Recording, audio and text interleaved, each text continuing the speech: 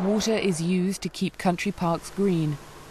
In an effort to ensure adequate water supplies, wells are drilled ever deeper. This private country park gets his water from a well which is 54 meters deep. This is 2 meters below the sea level and it allows salinity to filter into the water table. People will pay a lot for a place in the sun, but they want it all ways green enclaves and green golf courses. According to the UN Water Report, a golf course uses as much water as a town of 10,000 people. But there are some attempts being made to eke out supplies. For instance, the Costa Ballena golf course has been designed to use recycled water from the town's sewage plant. Our water source comes uh, from uh, the village of Rota, so all the grey um, water coming from there, uh, we process it in a plant that is about five kilometers from here, and from there, what we do is we bring it in here and we treat it for a third time, and that's the water that we use to irrigate the golf course. At the moment, we're using approximately 6,000 cubic metres per hectare per year. This is about half of what is usually used on a golf course such as this. When it comes to the irrigation, it is all computerised with all the data from our weather station right here, telling us what our water needs will be for that day. De una estación meteorológica. Although tourism has placed the drain on water supplies, Incredibly, 88% of the total water supply used in southern Spain goes to agriculture, according to the UN Water Development Report. Right now, water consumption in the agricultural sector is highly inefficient, often based on a production system and based on economic incentives for certain crops that does not reflect the reality of a water constrained region in many parts of Spain. Semi arid adapted crops like these sunflowers that can survive just on rainwater are grown less and less. So nearly all of that demand is accounted for by water guzzling cash crops such as cotton. This is a traditional dryland crop. The sunflower crops in the dryland style called secano. It doesn't need additional water, just the rain is enough. In this side, there is the cotton crops using water to increase productivity. Cotton growing is economic, as the price farmers pay for water is between 20 and 100 times less than the cost paid by households or by industrial users, partly as farmers are charged not by quantity, but by the area of land the water irrigates. We must be reasonable from an economic point of view, and that doesn't make sense to receive water for irrigation and to pay by hectares and not by cubic meters. And the cost, the real cost we need for making this cubic meter available at that point is more than 20 times more.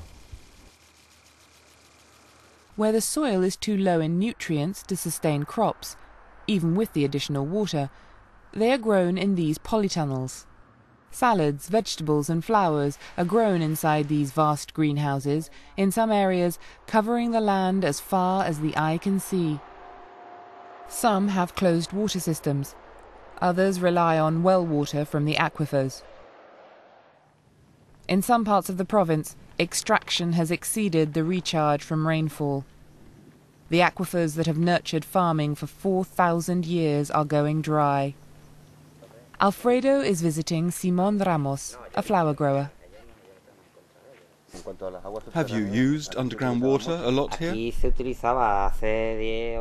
Here we have always used the water from the aquifer, but it was overexploited. It used to be very good water, but now we have canal water.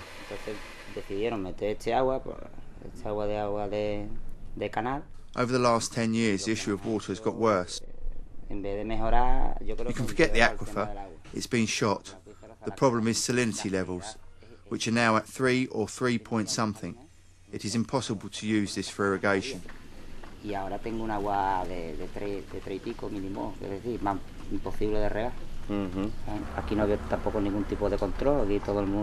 There was no type of control here, and everybody drilled a well as they wanted.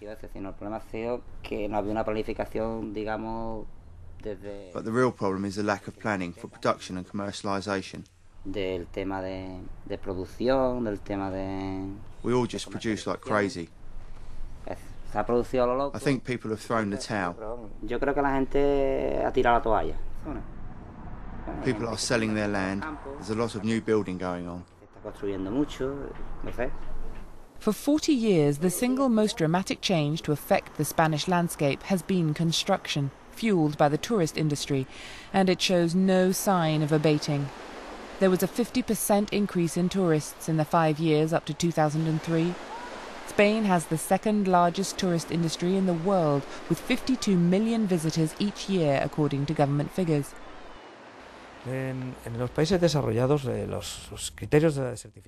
developed countries, the issue of desertification is more concerned with loss of soil through construction. Perdida de ese suelo. In Spain, we lose 50,000 hectares per year to building.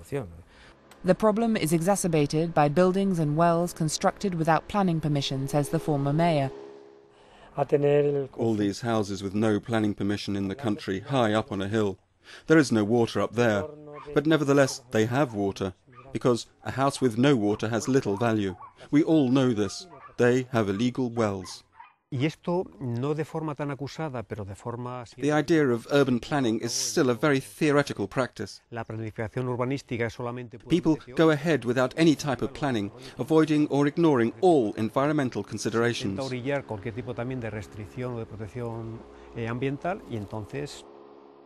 Buildings put up without permission often means there is no rubbish collection or civic sanitation. Once pristine beaches are covered in rubbish, and it's the local residents who pay the price. We've been coming here since we were kids, 20 years, and it's getting worse. Look at the area around us. Sewage from the houses is dumped into septic pits. In time, these leak into the groundwater and contaminate the aquifers. Tap water in some parts of the region, such as Seville, is undrinkable. People, such as the former mayor of Algodonales, see the only chance in a government getting tough and getting a vision of a future where all is not squandered for short-term gain. This is a huge challenge. What are we going to do in 10 years' time? We need a vision for the future, not just now or for the next elections.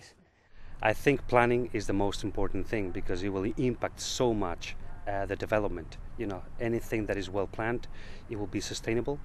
Uh, it will have future. Build a proper infrastructure dealing with waters, soil, the whole thing. It is not that expensive and stop all this building just to make more money. Keep what we have and make it right and proper. Water use should be dependent on the suitability of the land. If not, Spain will suffer from increasing desertification. This can only be achieved by planning sustainable solutions in advance, not by reaction to problems after they arise people to realize that water is a precious and a finite resource.